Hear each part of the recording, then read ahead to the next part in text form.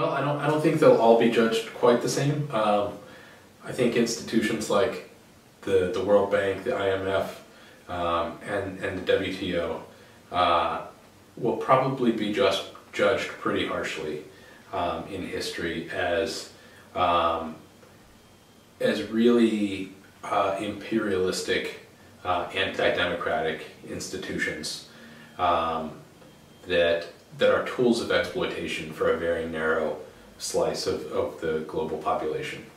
Um, and, uh, uh, and I have very little doubt that that's how they'll be judged in history. I think the, um, the historical legacy of the UN uh, is probably a little more fuzzy um, because uh, I think history will, will recognize that um, there are there are people involved in the UN um, and and people who pursue um, change through the UN um, that are doing it in good faith.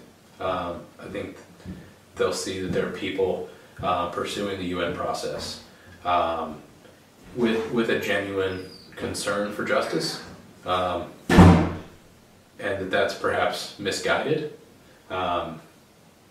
but but that it's at least in good faith. Um, uh, I, I think it's very hard.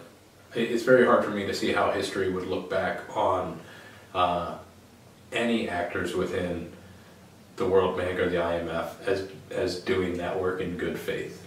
Um, that uh, I, I think it'd be hard for history to interpret uh, any of those actors as being concerned with anything other than uh, exploitation and greed.